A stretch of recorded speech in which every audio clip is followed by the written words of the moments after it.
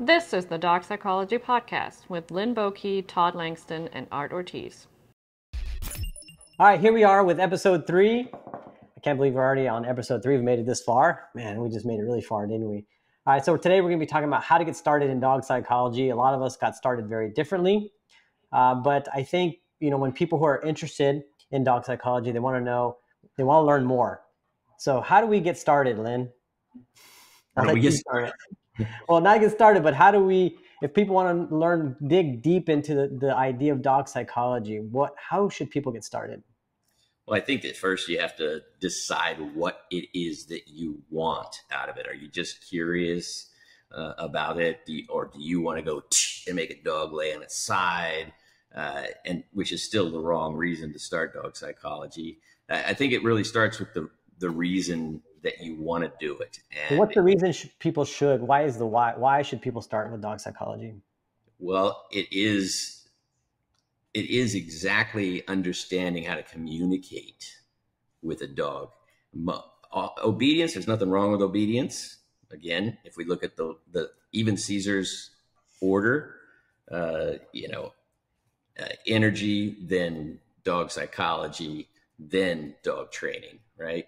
Uh, I've got a longer list, but dog training is down the line, and most dog training is just conditioning a dog to physically do something, whether it's a sit, stay, come, heel, or a shake, roll over, play dead, speak. Uh, they're basically tricks, but they're conditioned reactions to a human word. So we bypass the dog's language. It's the whole reason why my course in the very beginning, way back in the day, you're not allowed to speak because I need you to understand from a dog's point of view. You know, the dog's born with its nose open first. We talk about 60% of its truth comes from its olfactory system, and then 15% of its truth comes from the eyes. They, well, 21 days later, the eyes open, and then down, uh, is it two more weeks that the ears open? Well, we're backwards you know, our ears open first so we can hear what's going on, then our, our eyes open. And it's down the line before a, a, a kid has any understanding that it can smell, right? Uh, way down the line. And then our vocal cords start to bang around like a banjo. And then all the things that we've been hearing, we're now repeating, but it's a, a garbled bunch of words that that only mom can translate for the first year. All right. So that's what my intention was, was to stop talking. The main thing was to understand how difficult it is to give up your, you know, main form of communication, to give that up and understand how difficult it is for a dog to try and th- what the fuck? I don't understand what you are saying there. What? What's this language you're talking? They have no ability to understand human language. I don't care that they can sit when you say the word. They can't spell it. They can't say it. They can't define it. That, that it doesn't exist. It's just a, a reaction that's been conditioned. So I wanted people to find how difficult it was to communicate. You got to go to the bathroom. You need to explain that to me without saying you got to go to the bathroom, you know, and, and I would constantly test everybody. My point is, is that uh, dog psychology is understanding the dog's way of seeing the world. And when you understand that at its deepest level, you'll find, I mean, I only do words with my dogs just for the heck of it because I can't shut yeah. up. I don't need to speak. I, I find myself now going, you know, when I'm disagreeing with something that they're getting ready to do, It just and it, they look. So then, then they get their information. Well, but that's but that's dog psychology. Just understanding how those two how you can connect that to something, right? The the the, asso- the association of how their brain works and and you know you you got to go deep into it and from uh you know a a way people complicate it is it's just the way that their brain has a memory. It's an associative memory. It's not episodic. So meaning it can't re- it's not retrieving. It has to be present. There has to be something triggering this memory in, in to, for this to work. And understanding, like I, you know, speaking with somebody today, that if you do choose this converse, if you want to come in from the ears all the time, then you're going to end up with a dog that's constantly alert. and you're giving this direction to do something that requires some calmness, but you've done this conditioning of alertness.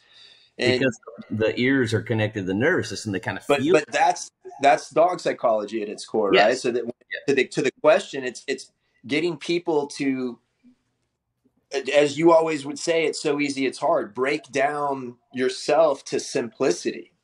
It's it's getting to know simplicity to understand what's really happening because otherwise we just we project our complications onto them and it really is just simplicity. I project all I, have, I catch myself still projecting things towards my dogs all the time and I'm uh, myself, whatever mood I happen to be in before I walk in, or whatever mood I'm in while I've been lost in my mind, and then they I become aware of what's happening.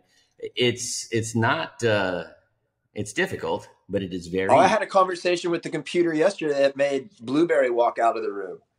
You know, so she's like, I don't like that voice. yeah. And she's like, fuck that, I'm out of here. And yeah. So you're you're absolutely right. Um, what we're projecting, you know, it's it's all about how we're feeling. And it's very important to check yourself before you wreck yourself. I just had to throw that in because I'm an ADHD rhymer. Uh, well, but, I, I, know I know that like Todd and you know some of, some of our, uh, my mentors like Colleen had the advantage of mentoring under you, but when you had the pack, when you had that whole group, right? And so not everyone has that that ability to do that today. You know, not even Cesar has the pack that he did back then, you know? So right. no one has the ability to learn the way you learn. So what are ways that people can learn nowadays without having that big pack? I think I think that's something that people because again, that, that's not available anymore. It's, the way it was back then. But if you find the right person uh, to help you, uh, I use video all the time. I'll take people to dog parks. I, I used did that a lot back then. I I I hated going to the dog. I loved the dog park, and and I know it, it it's become a cesspool and, and, problematic, but I I loved my dog park, yeah. and I you know I can't go to dog parks because oh god, thirty days from now that's going to happen. Uh, Ten weeks, oh, uh, 30 seconds, go go go go go. I I can just see feel what's going to happen next. And sometimes and you wish you didn't know, right? Sometimes because I know you see, like, I wish I didn't know what is about to happen because you're you're just you're seeing it play out. Yeah, and and back in the day, I used to be very forward with you know my knowledge, and uh, that's another story about uh, whether you should be a Cesar lesson that I learned. I'll save that for another day. But I used to tell everybody everything, you know. Uh, intervene. That dog's not having fun you know, and it's just people love that shit. By the way, yeah, they they. What do you mean he's not having fun? He keeps coming back. I'm like, for fuck's sake, he's he's he's going away, and here comes your dog, and now he's charging your dog. He's not coming back to play. He's trying to keep him away, and then I would get into arguments. So uh, I learned to keep stuff to myself, and uh, but yes, taking people to dog parks, uh, lots of footage, video footage, and uh, just making sure that you have the right person to give you the correct information and and hold you accountable to knowing this and that, not just a script. Yeah, here here in Dallas, Linn and, and Todd, there's a there's a bar that's actually like a dog park, and so they serve alcohol and food at this dog park. Okay, it's kind of happening everywhere, but this place has been for around here in Dallas for I don't know, 10, 10, 10 or more years. And so I used to take my employees there and uh, I would pay them, you know, as part of like their their ongoing ongoing education. I would take them there, and we would get drinks, we get food, but we wouldn't take any dogs. We would sit outside, and we would watch as the packs were starting to form within the dog park, and we would sit outside, and we would we would see as the energies would start to come in, and I would kind of narrate when this dog comes in, this is what's going to happen, and I, I we could narrate I could figure out that dog is going to go after that dog as soon as the dog comes in because you can kind of see what's playing out. And yeah. sure enough, it would happen. And so you know and those are some, some of the things that how you can still learn but you have to have a good foundation of what it is what dog psychology is and then starting to apply it. But i think the best way to learn personally is like we talked about last episode is get your hands on many dogs as possible. Absolutely. Well that That's, is that is, is, by far the best experience well, yeah be careful. Just don't well, here's the thing. is going to be missing. You don't want to send people out to get hurt because just touching dogs, a lot of people get hurt. But it's absolutely a value, one of the most valuable ways to learn. But you have to know what, okay, this didn't work. What will work? You have to mm-hmm. have stuff to put into place if it's not working. If you don't know, just touching dogs is is not going to be beneficial. You the so I had a I have a student right now for two more days, so it's just a three day thing. I do a pretty simple. Uh, we do a, a small pack walk in the morning. You know, so there's I think we had five dogs this morning, and then a, do a walk through the woods. So now there's you know things happening through that dialogue during these times. Uh, then they sit in on an appointment, and then I do video. So it goes from seven in the morning until one. That's it, and it's so it's it's, it's in that simple order, and it's kind of the the what I see foundationally that let's talk about. I think it's um, sometimes easier to prevent mistakes, right? So there's certain things to avoid, and one of the the common themes now is work with as many people as you can, and this is even what they'll say. And and then what I find is you you're easily confused because the next sage that you meet changes everything that you learned from the last sage that you thought that you knew, right? And so these people seem a little vulnerable to the people that have been doing it long enough to have a reputation. And so if they meet you and they and they're into you for that moment, everything you say becomes their new reality until so they meet the next person that says things slightly different and then that becomes their new reality. You and see it in what, their posts. Well, you see it. Well, you not only that, you see, you know, you see it in the, the way they work the dog because you can what knowing this over time, you can see all these different elements of different trainers and what I encourage people to do is I call it you got to find a religion I mean, yes. you have to find either the way a human delivers it and has this way of thinking about it and own every aspect of that religion. And what I think I want to share with people is I'm in a position that's relatively high up in this world, but I've only worked with two people. I've literally I've never been to a workshop. I don't crack a book. It's you and Cesar. So more isn't better. No. You have to you have to anchor whatever your belief is into one thing and then it makes it easier to go and pull all this information from different people because then you're, you're you have this rock. It's and basically we all share this religion but we're different preachers. Yeah. and and that, that's why we work because we honor the religion and most trainers struggle because they don't. So their egos are competing against you So i'm not saying our egos won't do that but i think the, the the missing element I've seen in my experience, and I think it's relatively good experience over time, is that's what's missing. And and we're just all going to be like names. It's like names on a on a, a like a a bucket list of working with trainers. It's like, oh, I have the notches on the bedpost, but what does that mean? So yeah. I think you need to anchor it and then go out there. And Yoa was a great example of I, I, went and watched it on YouTube, and then I went and touched the dog, and then I'd watch it on YouTube, and then I'd go and touch the dog.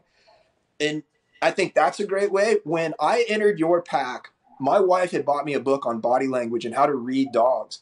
And I read it cover to cover multiple times. And that was the single greatest thing outside of then the information that came in because it advanced me. It put me in a position of having visual knowledge of things being said. And then you brought context to it. That's the problem. Right? So I'd be like, oh yeah, okay, that I kind of oh that that has a meaning and and so it was it was developed in that okay i see it and then now he, this is how he's doing it. All right then he did this and then okay now you can see that. It's like you were talking about art the pattern thing like that ability to see patterns. But i think there's kind of a textbook way you can go about doing this. I think you can literally learn the language. I think you can take the language into groups of dogs in different ways.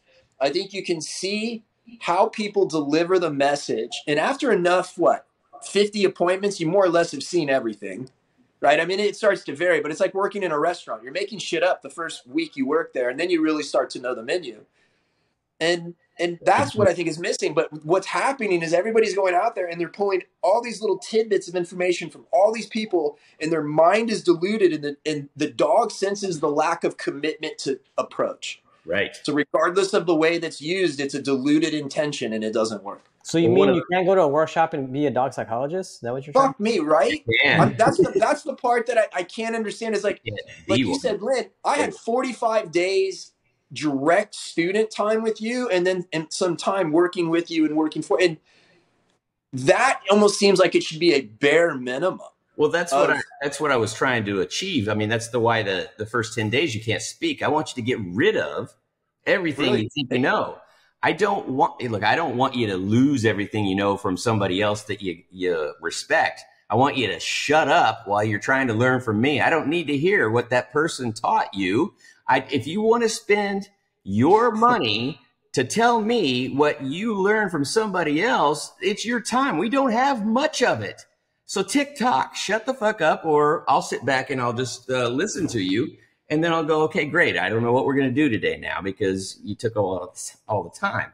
That is the thing. You can learn from as many people as you want, but go in. I mean, Bruce Lee, go in with an empty cup. You know, fill it up with that mentor and then when you go home, if you've done it properly, you can sift through what that mentor you really like and what really sticks with you and what your other mentors, and you can start to make something that is a hybrid. But until you, that's, that's another thing. Everything that I, I'm not trying to preach myself, but everything that I do has a specific reason. Learn, practice, master, begin again. Go learn, practice, master whoever first then go begin again. And then you just grow, grow, grow, grow, grow. And one last thing on myself, what you were saying about putting everything in categories, I've done that finally. I've everything is in, and I call it the pressure matrix, but we won't get into that. But every single thing that you need to know is done for you. It's like a map, and then all these posts, guideposts. So I'm at this guidepost. I know where I need to be and I know where I am and where I've come from and I know what's going to happen. I've got it all worked out. And you're right. I believe that there needs to be something, but man, it's tough because there are so it's funny. It's dogma. Hold on, Linn. So Art, you took a different path, right? So your path is different. It, um, you shared it yesterday. Obviously, there's like personal elements. We all have that involved what part of your path do you think was the most beneficial? Like I can articulate certain aspects of what Linn offered me, right? I know you worked with Linn, but later, like his so his dialogue isn't part of who you were at the beginning. Yeah. So what like what early on do you think was the most beneficial? What part? One hundred percent, without any question, Colleen because like in what just living living the life like living in her house and living the life i was immersed in it it was my religion like you said you know i i woke up to it i slept to it you know and that's all i did and i got to go to appointments with her i got to see how she worked with clients and that was in itself was worth its i mean i didn't pay for anything but uh, i get chills thinking about it because i just remember how she would work and, and talk to the clients and then i would see how she could you know get results and stuff like that and, and then you know her being a female you know, and kind of coming in there, you know, very confidently and things like that. And like you mentioned previously in the other episode, like she, like, she just doesn't really care. Not that she doesn't care, but she has this way about her. Um, but just she, one of the women trainers that can pull confidence off to perfection. Yeah. And, and in my opinion, it's it's a, a good roadmap. I think she's a good roadmap uh, for trainers, and I think she's a good roadmap if you're if you're a female trainer and maybe having a hard time identifying with the males that are teaching out there. And she was hard on me too. Like she was, she didn't take, she didn't take it easy. She was like, "Oh, art's okay." No, she was like, "This is what I expect. This is what I want you to do." You know, and she didn't candy code it, candy code anything. Like, and, and she would even correct me because I remember, uh, you know, this was kind of in the early days of you know of what pressure was, right? Um, and so anytime I would say, okay, so I'm going to apply tension, she's like, no, no, no, you're going to apply pressure. She made sure that I said the right words, that I was that's, very that's, that's Linn talking out of her. I know. Yeah. She was a the words you choose or the emotions you use, you know? That's right. So hey, thoughts See? become things, you know? I'm a, I'm a cookie jar, right? And, but uh, she, I was laughing earlier because she was a, uh, a, a tough one to reel in and, and, uh, because she has her own way of being and she was constantly late. I had to tell her, You're late one more time. I'm, I'm out of here. And she would pull in the parking lot late. I'm, we're driving by. See you later. She was a tough one to reel in, but uh, she is uh, very good. And I'm glad I, have never heard anybody say the things that she's done with them. I, I love that she was tough on you um, because it's necessary. It, people think, oh, you got to be nice to people. No, no, you don't if I'm nice to you, then you're not going to learn anything. I'm not going out of my way to be mean. I just don't have time to be either one. We would be able to get uh, comments and read comments from students, and she, she always intimidated a, a, good amount of female students. They don't know how to take her, Her Yeah. confidence is uh, is confusing, I think, to them because it, it it's very clean. Like it's it comes off very clean and it's not easy to do. It, you know, She's like in a that in so she kind of was like one of yeah, but but but for, but not but you don't look and go tomboy. no. You know, Right. you know that that's a background once you get to know As her. you but- hear Florida, oh, okay, okay. No, She's but also real- when- she doesn't get flustered when she gets stuck either. You know what I mean? Like when What's it- that? she doesn't get flustered or her. She never No, wavers. Never. You know what I mean? And so like she she'll like be like I'll be like oh god like I feel like she's stuck, and she just goes through it and like remember that time in TCW I don't bring this up too much but remember that on the, the treadmill thing at TCW Todd when you when the treadmill started to the band started moving and do you remember that? that. That was that was great. Yeah, I do. I'm not gonna go into the whole detail, but like you could tell, like you were starting to get like, oh, I'm a little nervous, but you you did recover. But with with Colleen, like she like she never wavered from who she was. She, I'm gonna keep going. I'm gonna keep going. You know what I mean? And like her confidence never dropped. Like you know, so The I key- admire that about her. the key part of that, uh, which is how I do, I want people to see me make mistakes, you Yeah. know, because uh, I don't want to be a you know, some sort of a superhero that nobody can attain. I'll go out of my way to point out my mistakes so that uh, people can say, "Oh, okay, well then I can do that too." No, this was a um, uh, this was an equipment malfunction Yeah, Oh, that, that oh, led to some, so it was it was a little different. It was uh it was an equipment malfunction leading to failure. So it wasn't like my my decision making led to failure, which is more yeah. acceptable, which is more acceptable somehow to me. Um, Right. It was that there was this equipment malfunction, and then it's more like um, an optics thing. You know, it's like you're here, you up on stage, supposed to be this able to do this thing, and this thing's happening. And so, I mean, it doesn't change the, you know, the how it breaks down, but yeah, it was it. I would have taken a whole, made a whole lesson out of just the mechanics of the machine breaking down and why it shouldn't upset your confidence. Well, and you're, this was this was actually several years ago too, so it was uh, quite a ways back. yeah, I, I, I kind of miss Colleen. Well, to, to. Art, Art, to your point, I, I think the next part of anybody being good at this is what you said, is is immersing yourself in it. Like you can't have a dog and you just go out and do training appointments and really understand how to get two or three dogs together that don't agree with each other, right? But if you live it and you all you you find yourself bringing hundreds of dogs over time, thousands of dogs into these dynamics where it's like for convenience, you know, you don't want to be taking 10 dogs out one at a time yeah, then I, the Rotate. lessons that come from that just reinforce whatever you you learned and without that i don't think it's possible to really truly teach with honesty unless you've been in the middle you know you've woke up at four in the morning a hundred times to deal with somebody else's dog and, and the follow through it requires to to go in at, at three in the morning and do it right Right. Uh, yeah, immersion. Sink immersion Remember? And I used to say, I love the deep end because if I can survive the deep end, I can walk on water in the shallow end. And still, they will say I'm afraid of water. But um, but that's uh, the the way I love learning. Overwhelmed until you recover. You know, people people don't do overwhelmed that well anymore know. they go- the dogs that are going to overwhelm you and your client. You know, it's okay if you don't want to do that. Just work with different dogs. There's nothing wrong with not. I, some of my students would say, "I never want to work with an aggressive dog ever." I'm like, "Great, you've done the highest level, right? Now you can do anything with other dogs." I parrot that. I parrot that, by the way. he does. I'm in fact making sure I'm like, you can make an entire career out of working with puppies. You have to pick your avenue, know your limits. Uh, Dr. Ian The Dunn. thing that it, this is another thing I think is a good time to talk about. And you guys, I'd love to know your your take on this. I don't think you can be taught to work with aggression. No, no. you- I you- think I think there's some there's some weirdness and there's some innateness that makes you want to do it, and then you learn strategies. But but you can't be taught necessarily. And you did you took me through some things that I mean I look back now and I go like like go move that dog. I'm like what?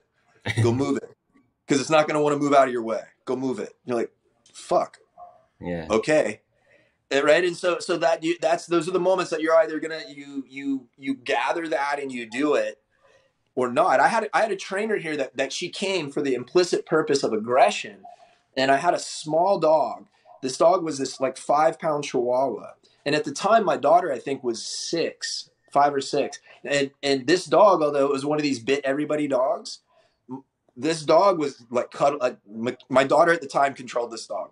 All right, and so it was this interesting dynamic. And this trainer shows up, and we go on a few appointments with aggression. And she's a structured person. She's a good handler and a good trainer, but she's really structured, and you can tell mentally has to have a certain order. I'm a little bit more freewheeling, and you know, I walk into these appointments without a plan or anything like that, and and, and it was it was overwhelming. But when I asked her to leash this dog up, and she asked me if it was going to bite her, and I said yes. She started to cry. Oh boy! And and this is what I'm saying is I think inherently you have to have the ability to know where your trained ability or being taught ability stops, and you just you don't don't mess with this area like when I told you to move that dog, this uh, is a great time for people in that kind of position. This woman had a great opportunity as well. Uh, the best time to practice a needed skill is when you don't need it. And so you didn't need to have the skill because I was standing right there. Well, hold on, hold on. Say that again. That's yeah. a great one, by the way. That's another Glynism. The best time to practice a needed skill is when that skill is not needed. And that woman who started crying, the first thing she asked you was, Is this dog going to bite me? Uh, and you said, Yes, she started crying. I personally would have stopped everything right there and in disgust broke down everything right there because that's a kink in the hose. You should not of be course. doing anything else after that. For, well, forward movement can only happen when the dog's yeah. right? right? So we had to stop and, and we have to go, okay, now you have to start going into this. And you know, at the time, I don't know what conversation was said. I just remember the situation because the, the intention of her presence was aggression. And I think some people believe they need that skill set. And I think on some level, there needs to be knowledge of how to deal with it, but it does not mean it's a requirement. You do need to understand it. You do need to, and, and listen, years of, of teaching, I just did things my way, the way I would do them. And after getting all the student videos back again and again and again, and they were only they weren't doing what I said to do. They were doing what they saw me do. I literally had to start asking clients to put a muzzle on a dog that I would never need a muzzle on so that my students could say, well, then he put a muzzle on the dog. So I guess I should put one on too.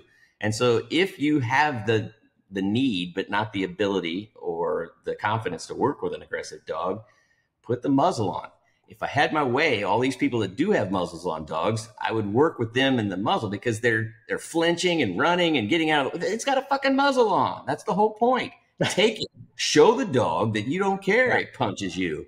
Yeah. That then will build confidence inside of you down the line. Again, the best time to practice uh, a, a needed skill is when it's not needed. I got a dog that's coming at me with no muzzle on, and I know what to do because I've done it so many times with a dog with a muzzle. Not me, but that's what you want to do with yourself if this is what you want to do. But I would not go. I mean, that was another thing too with my students, you know, as the first behavioral type of school, you know, dog psychology school. And so everybody, everybody that came through that that course initially went back to their hometown and always had like an interview with the newspaper or TV channel. And suddenly they're inundated with dogs before they're ready. And that's, it's very important to take the time after you learn what to do and, and how to do it and why to then practice it again. That was the whole point. You're coming to learn from me. You're going home to practice. And that's what you then you'll be mastering.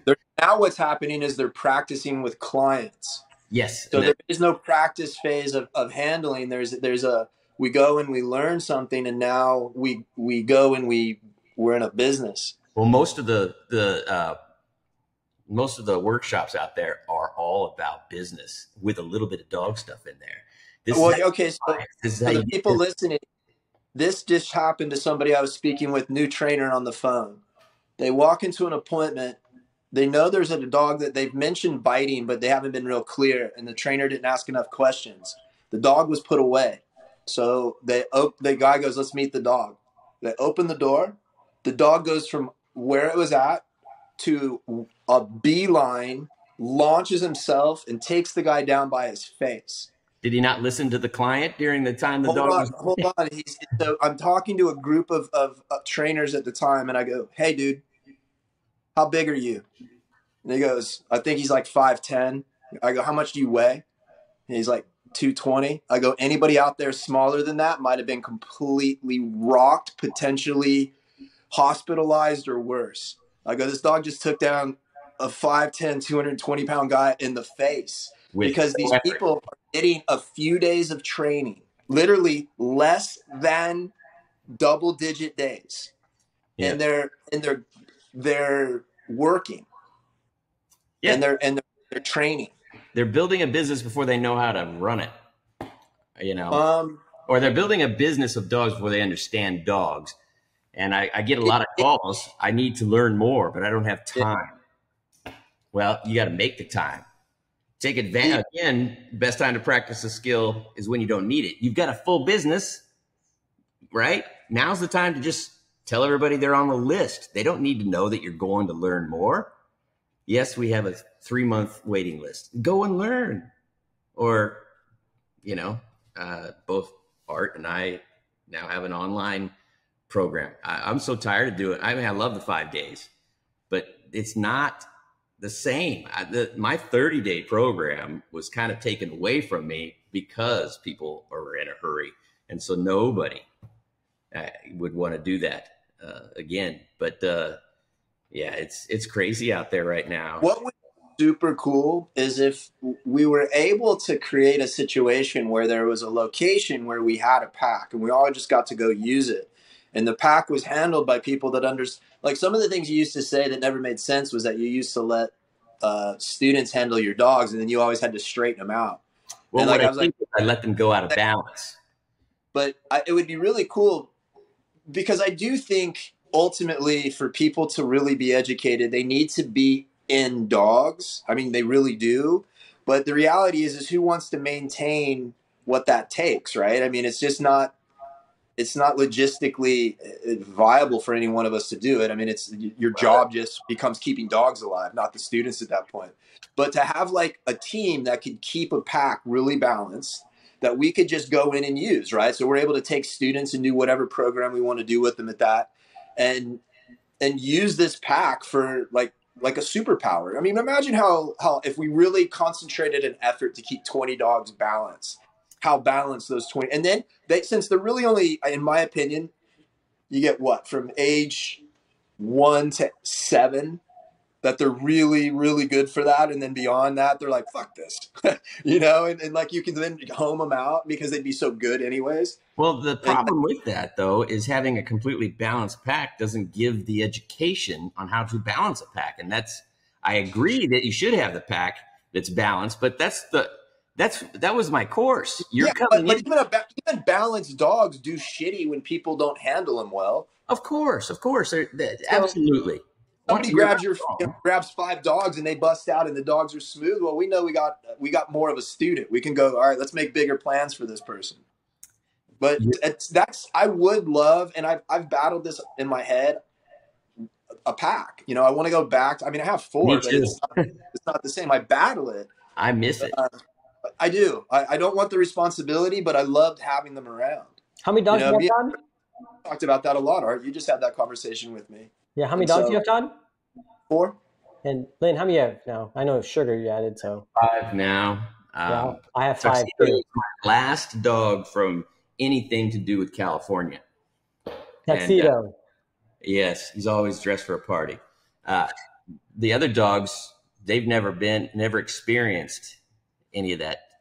yeah that Even though, awesome. even though they are pack, they still do pack things. It's more of a pet pack than Yeah. a working pack.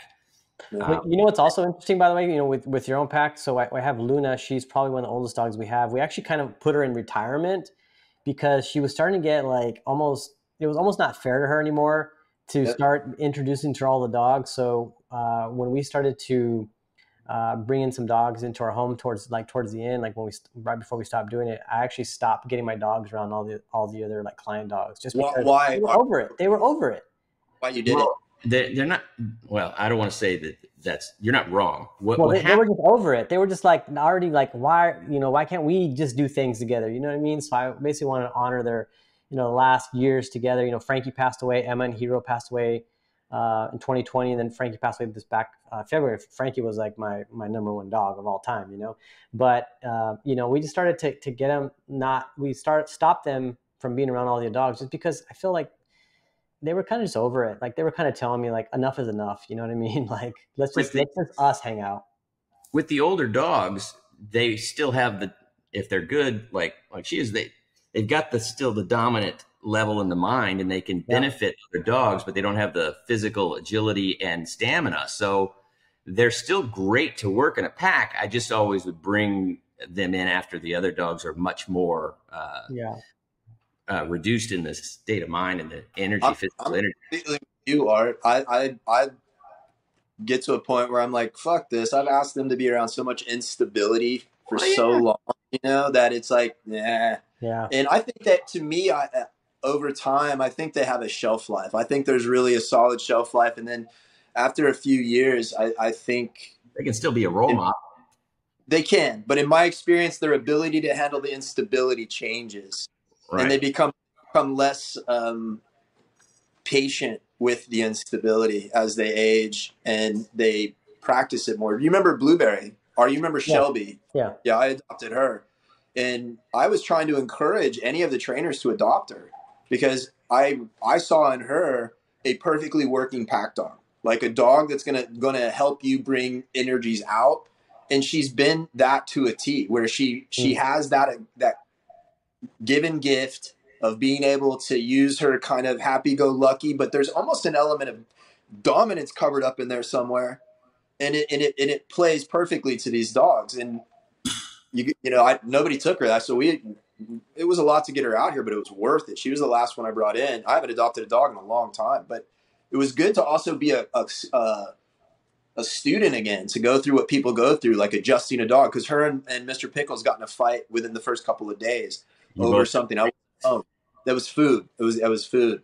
And so to to be back in that oh, sh- oh fuck all right here we go now we got you know you having to like you said you got to be around instability to to know how to stabilize it you know stabilize it and it was I, good. It was a good remark, but it was also like.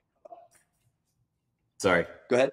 I don't disagree with you guys about the shelf life. I'm just saying that I'll work the younger pack without the older dogs until they're yeah. worn out a little bit or drained, and then I'll bring them in. But I bring dogs in to introduce. And Tuxedo, he's 16. He loves his job. I'll you get yeah, here it goes. Tuxedo's going to give you a what for. He still loves his job, but I'm there. I, I understand. You guys are not wrong. You're absolutely right. I'm just more. Hercules, come here. I'm I'll just more aware and and, and uh, there for the dogs if they get overwhelmed. But I don't expect them to do an eight-hour shift. You're right. They get privileges. I mean, if you come into my house right now, you're like, who? You're not Linn Boyke. You're dog. I've let my dogs get away with murder because I am just like the shelf life dogs you're talking about. I I, I want to. I sometimes wish I didn't know dog psychology. I just want to be a silly human and and uh, cuddle with my dogs. Uh, but yeah. I do have the ability to switch it any any minute, and I have that information. But you're you're right; they do have a, uh, a shelf life. They can't go on the ten mile hikes. You know, they can't do all that stuff, but they still have it in them to be a role model that they're they look the other ones can look up to I put them in. Mr. Pickles has has been um, infallible. He has uh, the only dog over the years I've seen just flatline over time, not change one bit about being around all those unstable dogs, and he's just doesn't give a shit. Is that the deaf dog, Todd? Yeah. Huh? Yeah.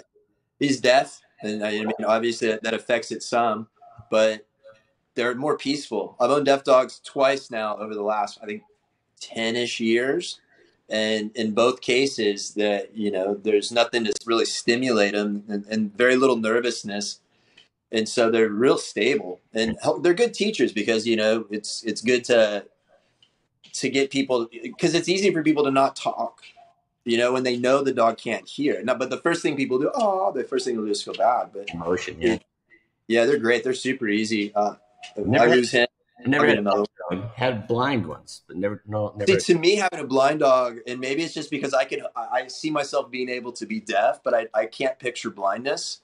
That's kind of a weird thing to say in itself. but trapped, yeah. and so I couldn't. To, having a blind dog would be very uncomfortable. For, I watched uh, JoJo's dog uh, uh, while she was here, and, and her dog was blind, and it made me uncomfortable.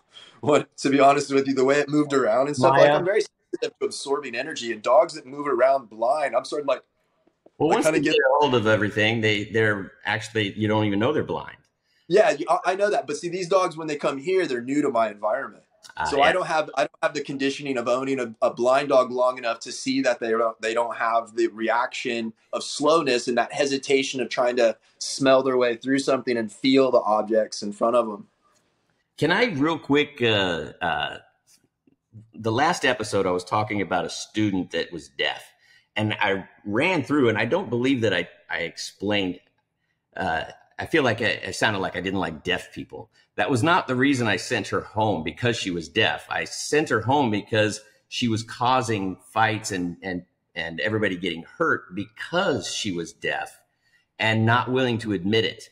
I have no problem with people being deaf. I, I I just want to make sure that that uh, you understand that it was not about her being deaf uh, that I fired her. It was about her anyway.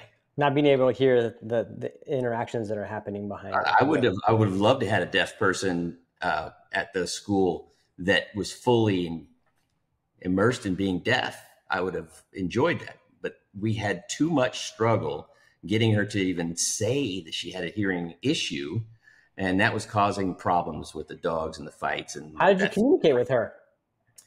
uh, it was very difficult, and it was it, it, it was very difficult. And her she wouldn't do her homework. It was just because she wrote like uh, like she was deaf. I mean, big words, little letters, big.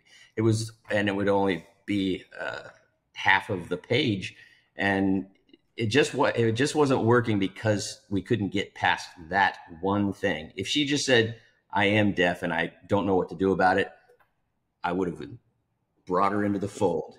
And there is is necessary to learn, and without surrender, it's impossible to teach. And I told you guys that uh, resistance is important.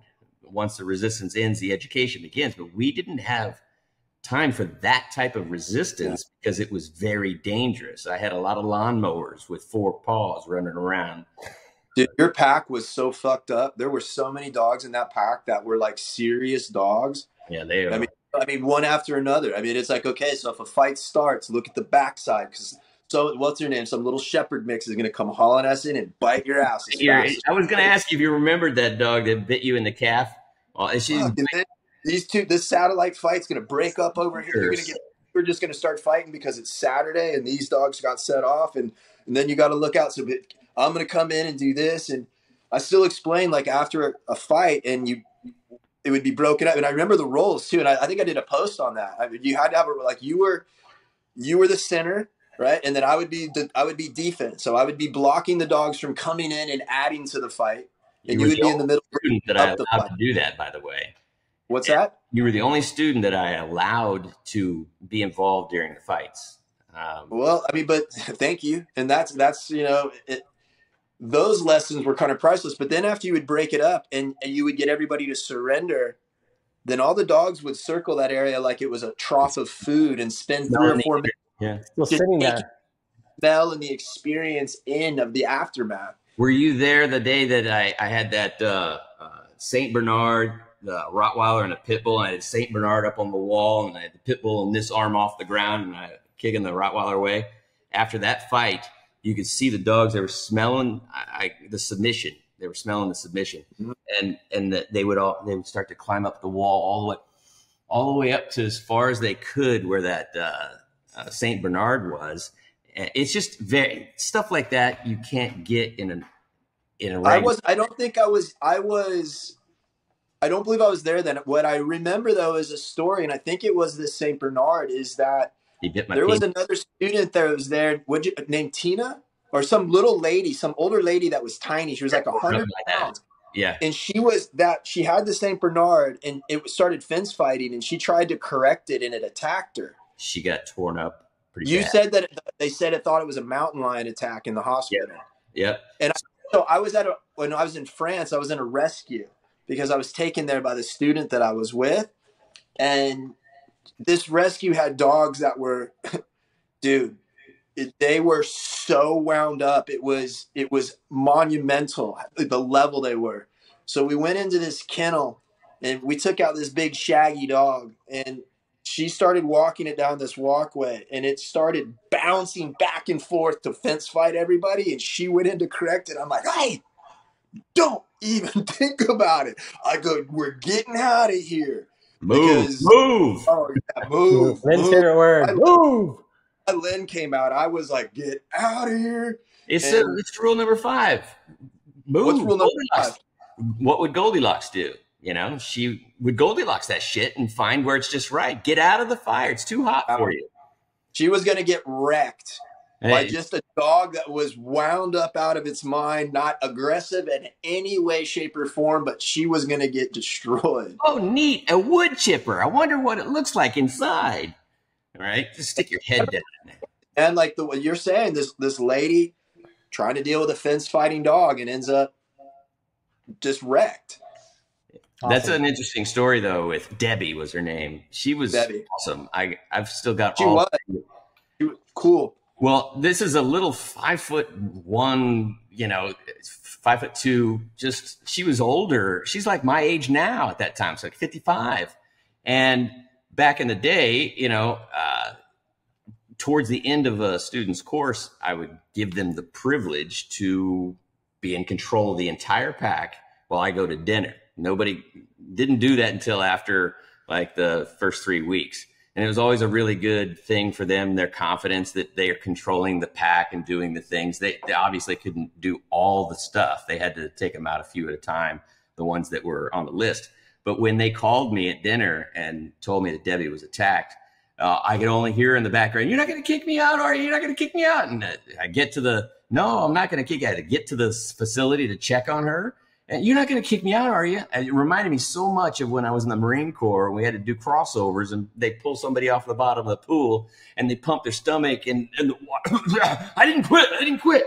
I love that about her. And so she goes, "What do I tell them at the hospital?"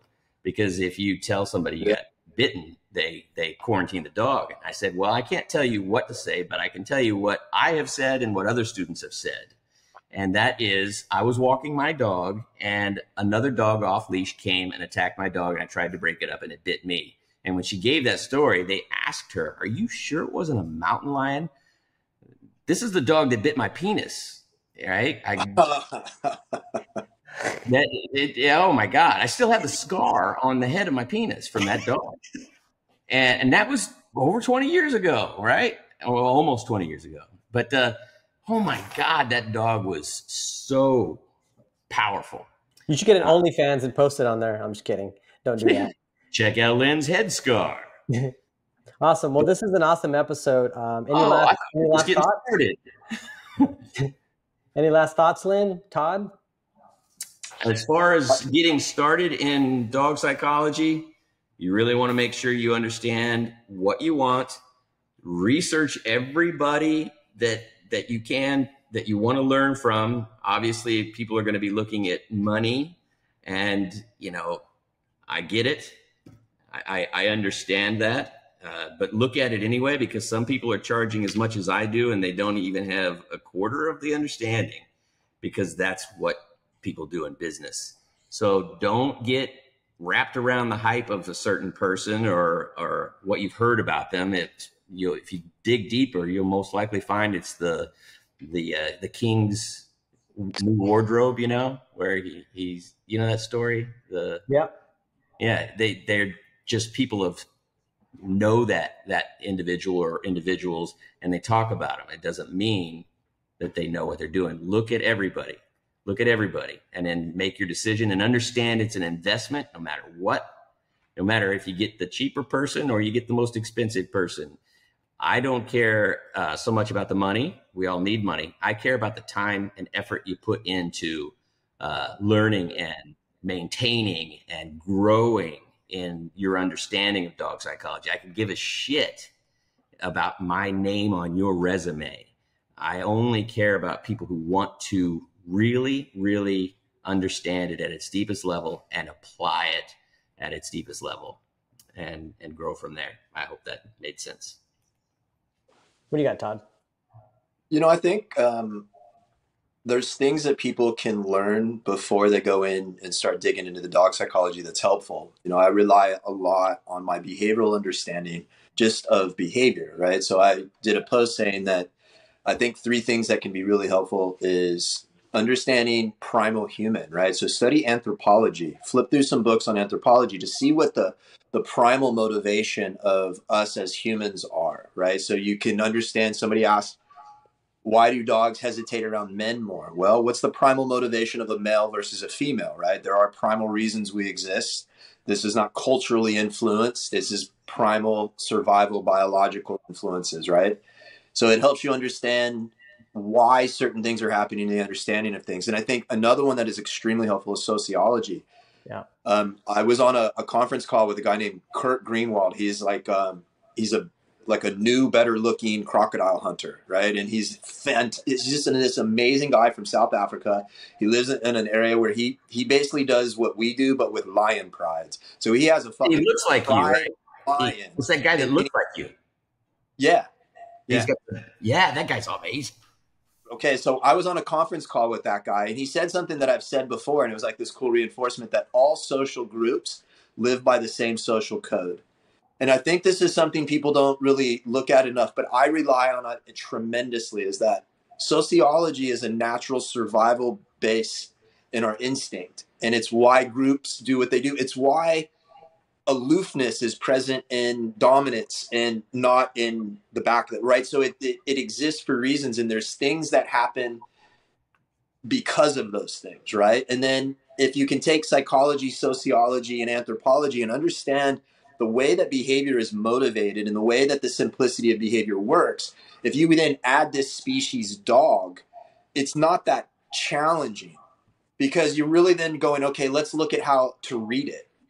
And I came into this with this knowledge. You know, I came into it with the knowledge of psychology and sociology. I, have I've always been very intrigued by behavior. So then I was just introduced to the way the dog world worked, but it, it had a reference to me because I understood groups of humans I understood the, uh, the way that associations worked. So to me, that's helpful starting points for people, in addition to obviously what we talked about. But that would be where I'd like to add. That's social pressure. That's in the pressure matrix. It's a very important. You're exactly right. Being social is understanding that is critical because you're working. Social dynamic is motivated by certain things that we all have, and it doesn't just. You don't just have to be a human to know why a family has to exist for survival to happen and what roles everybody takes in this family and how lessons are taught and what behavior modeling is about and so forth. I mean, it's it's the premise of what we do. We're just adding dogs to it. We're just referencing dogs in our conversations as opposed to a different species. It's been a long time since we've actually gotten together, but everything I half the stuff I show in videos doesn't even have anything to do with dogs. It's the same. Everything's exactly the same while remaining completely while being completely different at the same time. But wait a second, you talked to that guy with the Lions? Yeah. Wait, how did that happen? Because I would love to go down there and and enter. Lions are uh, well. The, this they actually arranged that as well. I don't know if I, I, I haven't added it to myself to be a part of that. Yeah, he's being used to help this uh, this group of trainers that I work with, and so he he's just part of what they they're bringing in. And so he was on a conference call. What was interesting is nobody really even knew what to ask him. And so I, I asked him a couple. I was the only one that asked questions, and I asked. um This was Abraham's how, group. What did I ask? Yeah, and and it was. um I forget what it was, but it was in re- reference to a, imprinting a correction because he had mentioned that they do a certain thing with the lions to discourage something, and I was like, I heard imprint, pepper spray. and so I, I an imprint question, and then I asked him something else, but he referenced you can't even go in with a limp, dude. Your stomach can't oh. hurt. They oh. tolerate any weakness; they'll take you down, and they're and they're tame, but your weakness will be jumped on. And and so it instinctual. Said it said all social because he works with all these animals. He goes, all social mammals live by the same code. It it is exactly. That's amazing. I would love to to talk with that guy, meet that guy, work with that guy. I saw him so many years ago, just before they were going to close down his you know sanctuary or whatever it was, and he had to raise money like before uh, crowdfunding. It was way back in the day, and I was blown away by this guy. the things that he he does. I saw him have to break. You know, when you're introducing two dogs, and he's introducing two lions. I watched. Man, this before I could pull. So this. he he was raised on a, a reserve, a nature reserve, and since he was raised on it, he was as a child. It's like when you learn other languages as a child. He was raised with animals, all these different species of animals, and so I only can make the assumption that he, he just absorbed all of this. You That know, sounds because the- familiar. yeah, Yeah. kinda, uh, he being so profound. He he goes, you guys have to come to my where I live, to my land. He goes, my I have I live on ancient land. He goes, there's a cave on my property that has a man mummified that's like five or six thousand years old, still in the cave. The energy of my land is tangible because you can feel the energy of my. no, And I was like, holy smokes, that's crazy. I just got chills. I want to go. Let's do it. Let's let's do a let's do a uh, what'd you say? I, I, tell good stories. You're Yes, like, I got do a uh, what do they call that in school? Field trip, dog psychology field trip, and go and and we uh, do learn- over there. Yeah, that guy they is keep- amazing. When I saw him Yeah. introducing two lions, and he uses the nose type of thing too, and he j- he didn't like the pepper spray, just enough No. to get the the lion's Yeah. attention, and then they stop the fighting. He they, they start doing that he said when they're cubs they start Mhm. doing this nose correction and that's what i that's what i asked i go oh we call that's an imprint i go so the first time i correct a dog is the most important and i go is that kind of what you're describing to me it sounds like is it, you're imprinting this what i would consider this is a stop mechanism and Yeah. he's like oh and it starts going into it cool he was nice cool guy amazing, amazing. I want to meet him. I want to. Let's do it. Serious. all right Well, cool. Add art tell us tell us what you want brother Um, I just think that you know people need to be open to uh, learning these things. You know, I just started recently started learning jujitsu. Now, uh, just because I started, I've been doing it for four months doesn't mean that I'm already a black belt. You know, I'm just kind of learning how to do these things one step at a time. And you know, as as you start learning with dogs, there's always going to be. Even now, I'm 12 years into it. I, there's still things that I saw like I've never seen that one before. You know, and so I think that. Um, without sounding like the sounding like the old angry guy who's been doing this for 12 years. Um, that, that just because you go to a workshop doesn't mean that you can start. Uh, not that you still can't teach it. I just think that n- um, knowing who your audience is and things like that, um, you know, I, I just I just I see some of these things and I'm just like and I'm proud of people how they're you know advancing and stuff like that, but they're really just speaking it, actually not doing it Not advanced. Yeah, you're right. They're, and, they and are. so there's a lot of there's a lot of there's a lot of talk as opposed to what the experience is you know i think they both have to be the experience the hands-on and the words have to be together That art would would you agree that what we're seeing a lot of is i see a lot of people that know how to say the right thing before they know how to do the right thing All- and yeah. i would reverse that because once you know how to do it you'll come up with three different ways to say it Yeah. but if you don't know how to do it then you're relying on the way it was explained to you and Yeah. people can sense that by the way and so i think learning how to, to do something will give you more descriptive power of how to say it so think of how many students come to us and say hey i just need to learn how to say things i'm like uh, somebody said that to you. well, you we kind of get that a lot. People are like, I just need to learn how to deliver it. Like you know, Uh-huh. people want how to, to say the the words. If it's in your bones, you won't have to worry about how to say it. My belief is that. So it goes back to what I think aren't your, yeah, the you're not gonna subconscious you know it's what your sub you just do it you know that- it's being instinctual your subconscious is being instinctual you know and so i And it- think like changing the people they have to be automatic they already have to know what they're going to do by changing their subconscious that is what instincts is for, for me that's how i see it you know You have to think about it. You're too late. Yeah. All right, guys. This was an awesome episode. Uh, think so. next episode will be um, what we learned from our mentors. I mean, we've kind of been talking about here, you know, little bit and pieces of that, but I think we get, you know, can get into that. Um, you know, what you learn from. You know what, dude? Let's just do a gnarly episode. Let's just because pe- let's do like a crazy appointment type of thing. Like let's talk. Let's do one where we just fucking light this up with crazy shit. Oh yes, that's like We're like some real stories. Yeah, That'd be We're really good, actually. I mean, Yeah. think about the, what the three of us could talk about and create like wh- whatever you want to come up with, man. Dude, your dick got bit. You talked about a scar on your dick. Yeah. Think about is. I think that's Dude, cool let's to hear. do that. Let's do that next episode. Yeah, What? fuck that other stuff. What are we Yeah. doing? Crazy stories. Oh, well, that's Crazy a- consultations. Well, Yeah. we're not trying to get the this podcast all in four podcasts, right? We got no, but what I'm saying is let's let's you know we're we're yarning on about ourselves.